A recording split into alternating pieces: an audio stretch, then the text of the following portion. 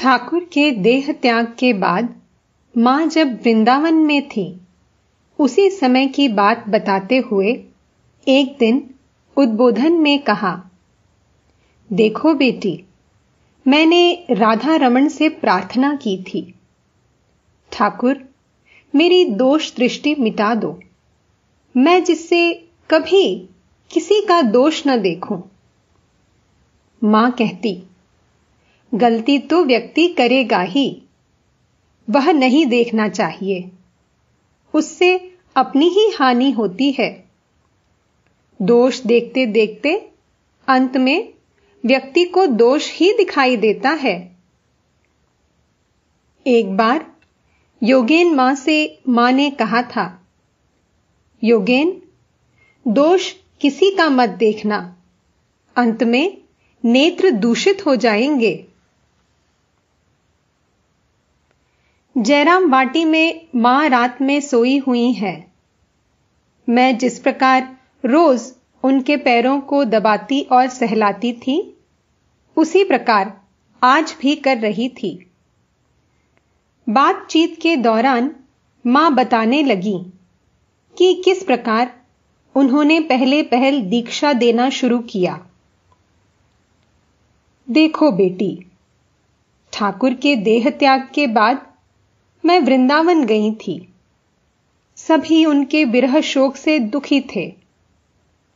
एक दिन रात को ठाकुर ने दर्शन देकर कहा, तुम लोग इतना रोती क्यों हो?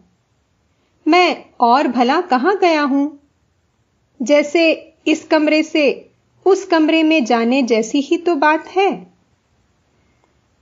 एक दिन ठाकुर ने बेटे योगेन अर्थात स्वामी योगानंद को दीक्षा देने की बात कही। सुनकर मुझे थोड़ा भय हुआ तथा लज्जा का भी बोध हुआ। पहले दिन देखकर लगा, यह भला क्या है? लोग क्या सोचेंगे?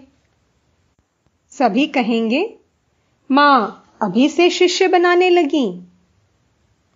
लगातार तीन दिनों तक ठाकुर वह एक ही बात कहते रहे, मैंने उसे दीक्षा नहीं दी है, तुम ही दो। क्या मंत्र देना होगा, यह भी उन्होंने बता दिया। मैं उस समय बेटे योगेन से बात नहीं करती थी। ठाकुर ने बेटी योगेन, अर्थात योगेन माँ के माध्यम से उससे बात करने के लिए कहा। तब मैंने, बेटी योगेन से यह बात कही। उसने बेटे योगेन से पूछकर, जाना कि ठाकुर ने उसे मंत्र नहीं दिया है। ठाकुर ने बेटे योगेन को भी दर्शन देकर मुझसे मंत्र लेने को कहा। उसने यह बात मुझसे कहने का साहस नहीं किया। जब मैंने देखा कि उन्होंने दोनों लोगों को ही कहा है तब मैंने उसे मंत्र दिया। इस बेटे योगेन से ही मेरे दीक्षा देने की शुरुआत की। योगेन ने मेरी बहुत सेवा की। वैसी कोई और नहीं कर सकता। केवल शरत ही कर सकता है। योगेन के बाद से शरत ही कर रहा है। मेरा झंझट वहन करना बहुत कठिन है बेटी। शरद के सिवा मेरा भार और कोई नहीं ले सकता। गोलाब, योगेन, अर्थात योगेन माँ, इनके नहीं रहने पर मेरा कलकत्ता रहना संभव नहीं होता। जब माँ जयराम वाटी में थी तो रांची से एक भक्त ने आकर माँ से कहा, आपको कुछ दिनों के लिए ले जाने आया हूँ। किराए का मकान आदि सब ठीक कर आया हूँ। माँ ने पूछा शरद को मालूम है? भक्त ने कहा, नहीं। माँ ने कहा, तब तो मेरा जाना नहीं हो सकता। शरद आकर लौट गया है। पहले कलकत्ता जाऊँगी। यदि वह कहेगा, तब देखा जाएगा। भक्त ने कहा, माँ, मैंने तो सारी तैयारी कर रखी है। माँ ने कहा, तुमने जाने बिना पहले से तैयारी क्यों की? भक्त चला गया। माँ ने बाद में कहा, देखो बेटी, ये लोग सोचते हैं, मुझे ले जाना बहुत आसान है। ये लोग केवल उत्साह दिखाना ही जानते हैं। और एक बार, ढाका में लोगों ने अखबार में छपवा दिया कि मैं वहाँ जाऊँगी, जबकि मैं कुछ भी नहीं जानती। दो चार दिन सभी लोग कर सकते हैं। मेरा भार लेना क्या सहज है? शरद के सिवा और कोई भार ले सकता है? ऐसा तो देखा नहीं। वह मेरा वासुकी है। सहस्त्र फणों से कितना काम करता है। जहाँ से पानी गिरता है, वही छाता लेकर उपस्थित रहता है। एक दिन एक स्त्री भक्त के अपने किसी सहेली के साथ मन मुटाव की बात कहने पर माँ ने उससे कहा था देखो बेटी। मनुष्य से प्रेम करने पर दुख कष्ट उठाना ही पड़ता है। भगवान से जो प्रेम कर सकता है, वही धन्य है। उसे कोई दुख कष्ट नहीं रहता। और एक दिन किसी स्त्री भक्त ने माँ से ठाकुर पूजा सीखना चाहा तो माँ ने कहा, देखो तुम लोग संसार में रहती हो। यह सब नहीं कर सकोगी। उनका नाम जितना मिला है, उतना ही करके देखो। उतना करने से ही सब होगा। एक बार माँ ने मुझे रेशम का एक वस्त्र दिया। किसी ने इस पर आपत्ति करते हुए कहा, केवल उसे ही कपड़ा क्यों दे रही हो माँ? और भी तो पाँच लोग हैं। माँ ने उत्तर दिया, मैं उसे नहीं दूँगी तो और कौन देगा? उसका और कौन है? बोलो तो। राधो की बीमारी के कारण माँ बोसपाड़ा में निवेदिता स्कूल के किराए के बोर्डिंग वाले मकान में निवास कर रही थी। मैं उनकी सेवा के लिए वहाँ थी। एक दिन माँ ने मुझे ठाकुर को भोग देने को कहा। मैं भोग देने का कोई मंत्र आदि नहीं जानती थी। इसीलिए माँ से बोली, मैं तो माँ ठाकुर को किस तरह भोग दिया जाता है नहीं जानती? तब माँ ने कहा देखो बेटी, ठाकुर को अपना समझकर कहना, आओ, बैठो, लो, खाओ, और सोचना कि वे आए हैं, बैठे हैं, खा रहे हैं। अपने जनों के लिए क्या मंत्र तंत्र की ज़रूरत पड़ती है? वह सब तो वहाँ होता है, जैसे मेहमान आने पर उनका आदर सत्कार किया जाता है। उसी तरह। अपने जनों के पास उन सब की आवश्यकता नहीं पड़ती। उन्हें जिस भाव से दोगी, वे उसी भाव से ग्रहण करेंगे।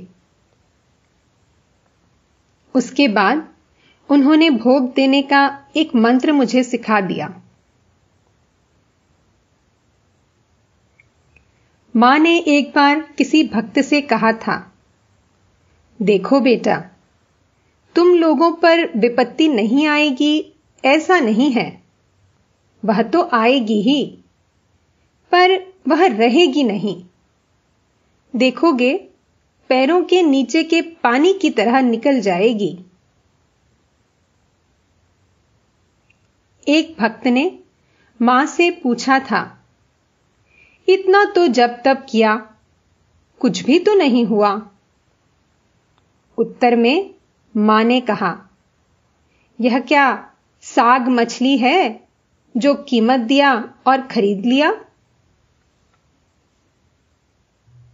जयराम वाटी में माँ के संबंधी लोग तरह तरह से माँ को सताते। माँ ने एक दिन नाराज़ होकर कहा था, देखो, तुम लोग मुझे अधिक न सताओ। इसके भीतर जो है यदि एक बार फुफकार मारे तो ब्रह्मा, विष्णु, महेश किसी में सामर्थ्य नहीं कि तुम्हारी रक्षा कर सके। 1919 ईस्वी में माँ उस समय कोयालपाड़ा में थी। दशहरे के दिन कई भक्तों ने माँ के चरणों में कमल के फूल चढ़ाकर पूजा की। और चले गए। बाद में माँ ने मुझसे पूछा, आज क्या है जो लड़कों ने पैरों में फूल दिया? मैंने कहा, आज दशहरा है, इसीलिए। माँ ने थोड़ा हंसकर कहा, अरे माँ, क्या मैं मनसा हूँ? बाद में ठाकुर की ओर हाथ जोड़कर बोली वे ही मनसा, गंगा, सब हैं। राधु, वायु विकार के कारण पागलों जैसी अवस्था में, कोयालपाड़ा में थी। कई बार माँ उसे खिलाती। वह मुँह में खाना भरकर प्रायः माँ के शरीर पर उगल देती। एक दिन माँ परेशान होकर मुझसे कहने लगी, देखो बेटी, इस शरीर, अर्थात अपने को दिखाकर, को देव शरीर जानना, इससे और कितना अत्याचार सहन होगा? ईश्वर को छोड़ मनुष्य क्या इतना सहन कर सकता है? ठाकुर ने कभी मुझे फूलों से भी चोट नहीं की, कभी भी तुम छोड़कर तू तक नहीं कहा। एक बार मुझे लक्ष्मी समझकर तू कहने के बाद कितने बेचैन हो उठे थे। वे दांतों से जीप दबाते हुए बोले, अरे तुम हो, बुरा मत मानना। मैंने लक्ष्मी समझकर तू कह दिया। इन लोगों ने मुझे जला डाला, बेटी। इस बार ठाकुर राधु को किसी प्रकार ठीक कर दे। अब और नहीं। देखो बेटी, मेरे रहते ये लोग कोई मुझे पहचान नहीं सकेंगे। बाद में सब जानेंगे। उद्बोधन में माँ की अंतिम बीमारी के समय, एक दिन कोई साधु माँ को देखने के लिए आए। माँ सोई हुई हैं। साधु माँ के पैरों पर हाथ फेरने लगे। उस समय माँ के सिर पर कपड़ा नहीं था। साधु के चले जाने पर माँ मुझसे कहने लगी, मेरे सिर पर कपड़ा नहीं था। कपड़ा क्यों नहीं डाला? क्या मैं मर गई हूँ? अभी से यह कर रही हो? इस समय माँ को बड़ी अरुचि है। कुछ भी खा नहीं पाती। जरा सा भात खाती हैं। एक दिन खाने के समय डॉक्टर कांजीलाल वहाँ उपस्थित हुए। उन्हें लगा कि माँ के भात की मात्रा अधिक है। अतः वे माँ के सामने ही मुझसे बोले तुमसे माँ की सेवा नहीं होगी। मैं कल दो नर्स माँ की सेवा के लिए लाऊँगा। तुम्हें अब सेवा नहीं करनी होगी। डॉक्टर बाबू की बात सुनकर माँ ने बाद में कहा, हाँ, वह सोचता है कि मैं उन जूता पहने हुए लड़कियों की सेवा लूँगी। यह मुझसे नहीं होगा। तुम मेरा कामकाज जैसे करती हो, करोगी। कांजीलाल, क्यों मेरे भोजन को लेकर इतना हंगामा कर रहा है? मैं भात क्या खा पा रही हूँ? यह बात तो वह जानता नहीं। इसके कुछ दिन बाद ही माँ का भात खाना बंद हो गया। एक दिन माँ ने कहा देखो। उस दिन कांजीलाल मेरा भात खाना देखकर नाराज़ हुआ था। उसी से मेरा भात खाना एकदम से बंद हो गया। इस समय माँ का स्वभाव एकदम पाँच वर्ष की बच्ची के समान हो गया था। एक दिन रात के बारह बजे जब मैं उन्हें खिलाने गई तो माँ ने रट पकड़ लिया। मैं नहीं खाऊँगी। तुम्हारी बस एक ही बात। माँ खाओ और बगल में डंडी लगाओ, अर्थात थर्मोमीटर। माँ खाना नहीं चाहती, यह देखकर मैंने कहा तो क्या माँ महाराज को बुलाऊं? कई बार महाराज का नाम लेने पर वे खा लेती। लेकिन इस बार उन्होंने रुष्ट होकर खाने से एकदम इनकार कर दिया। बोली, बुलाओ शरद को, मैं तुम्हारे हाथ से नहीं खाऊँगी। महाराज सुनते ही जल्दी से माँ के पास आए। माँ महाराज को बिठाकर बोली, जरा हाथ फेर दो तो बेटा और उनके दोनों हाथों को पकड़कर बोली, देखो ना बेटा, ये लोग मुझे कितना तंग करती हैं। ये लोग केवल खाओ खाओ की रट लगाती हैं और बगल में डंडी लगाना जानती हैं।